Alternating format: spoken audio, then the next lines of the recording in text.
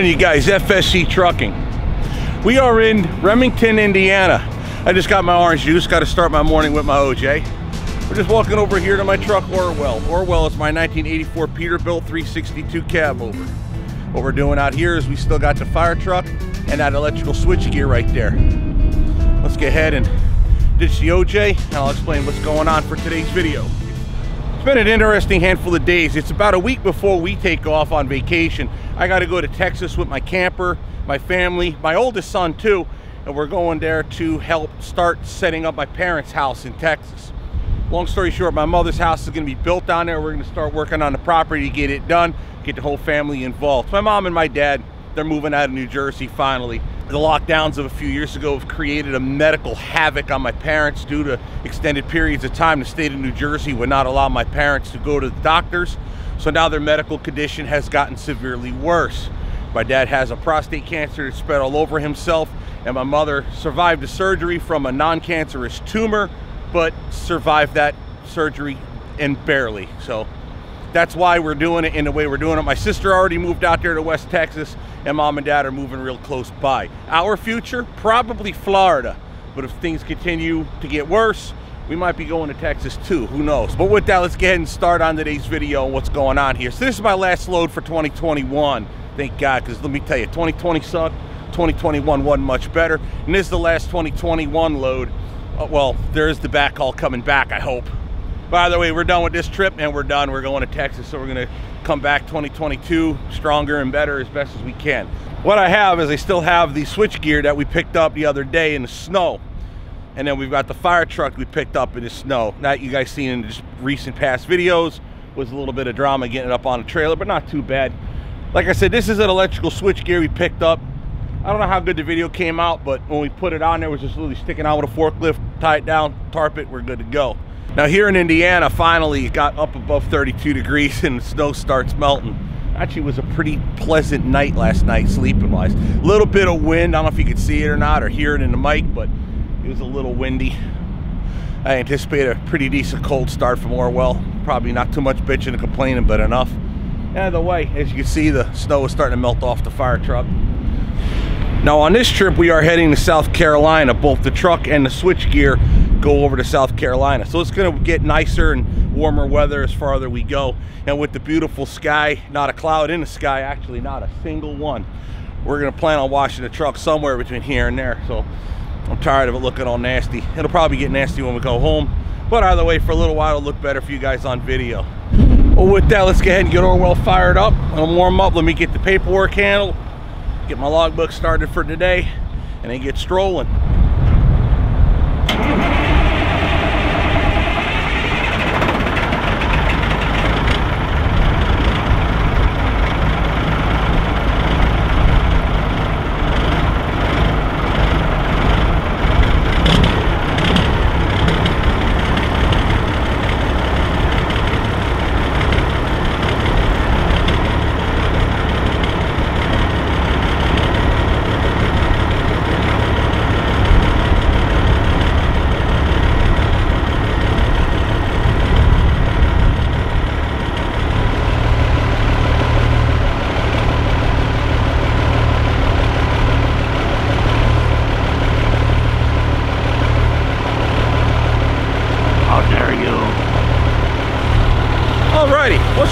Didn't that much there, boys and girls. I was surprised at that. It really wasn't that cold, but a nice headwind right into the truck, cooling the engine off quite rapidly last night. So either way, let's go ahead and get this thing started. Oh, I'm running out of crap to say. All right, whatever, let's just go. I usually listen to while I'm driving Steve Sommers Overnight Drive. You can find it on YouTube. He's got his own app. There's a few other places you can catch that podcast at. But either way, I was listening to a Friday morning show while I got down here. It was a few days late. That show was before the storms had come through. But with that, they were talking about a new thing, and I'll show you the picture. Apparently, DEF for these trucks, not Orwell, but the more modern truck, um, is getting to be a hard commodity to find. Now, I was able to find my orange juice, luckily, today at the Petro here in Remington. But the little jugs of urea, the DEF, DEF, we call it, or diesel exhaust fluid, and I got a lot of international subscribers. I don't know what you guys call it overseas, but here we just call it DEF, D-E-F, diesel exhaust fluid. Used to get them in like two or three or one. I never bought them that way, loose in pails, like uh, buckets. That's what the little snout sticking out of them. I mean, it's it's a lot of waste. It's, I wonder if there's a lot of. I often wonder how much pollution is making all the little plastic containers just to throw them in a landfill to clean up the exhaust, and then the trucking to haul the urea around. But with that, apparently, it's getting hard to find, and the display case in the Petro was completely out. By the time you see this video, I don't know. I, I have no idea what will have happened. See, I took about a month and a half off. That's why you guys, the videos never were interrupted. But for me, it was a month and a half lag. That's why you see me from wearing a t-shirt to wearing a ripped hoodie. Yeah, I tore my new Peterbilt hoodie. Ah, I gotta get a new one. Hey, Peterbilt dealer, you should uh, give you a new hoodie uh, sponsor. So apparently DEF is getting hard to find now. So I'm glad I don't need that nonsense. Point is, I wanted to bring up the so-called urea shortage right now. I don't know if it's genuine or not. It doesn't affect me. Let me know in the comments how it affects you guys. Because by the time you guys are seeing this video, it's obviously long after I filmed it. So let me know how it's going for you guys.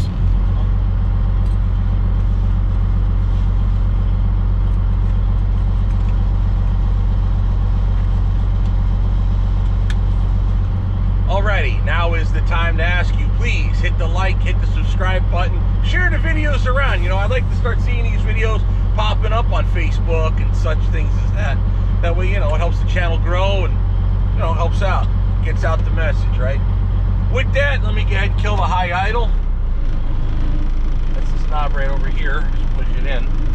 Set it. Pull it out. And that's to take it away cable driven. Hit the brake knob, always check up on the trolley valve, make sure that's set right.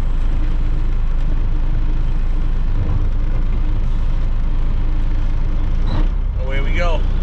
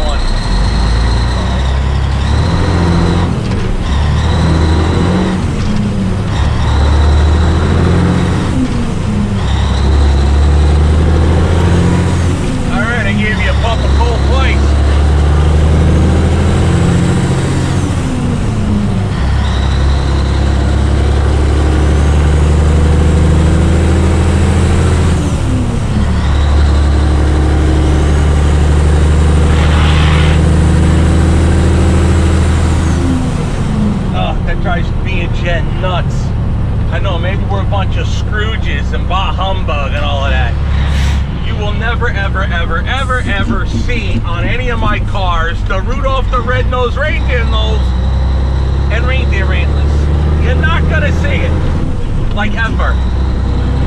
I get it, maybe I'm just a Scrooge. Or a Grinch, I meant, the Grinch. Scrooge, Grinch, probably think alike.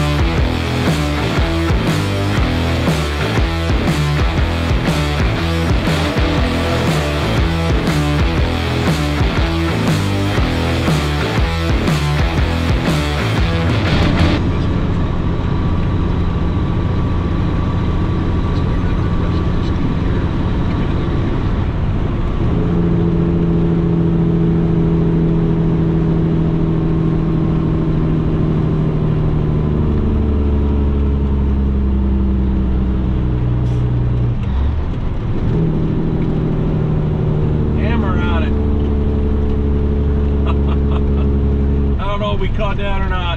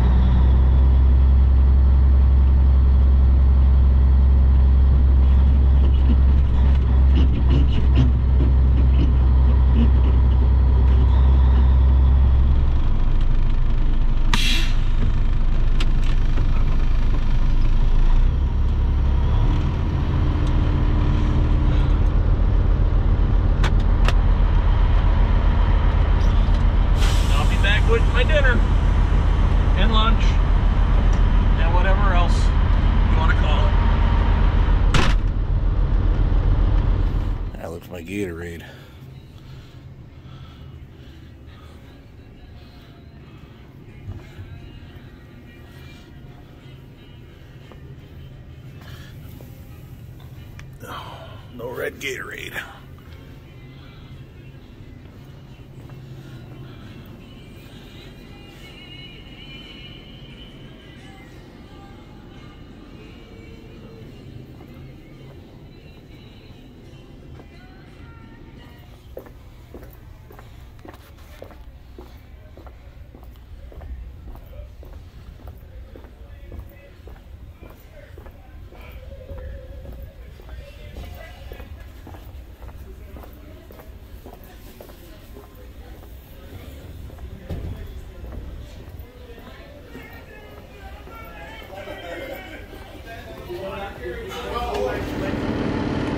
Well, I got my food. Just ate my Popeyes in the truck because you can't eat inside.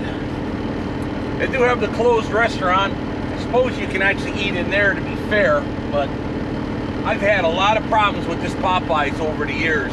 This is the TA in Whitestown, Indiana, just north of Indianapolis. The Popeyes are just rude. Treat you like a friggin' just, it's real dumb. They're just gonna yell at you anyway. Two and a half, I don't even know how that's possible.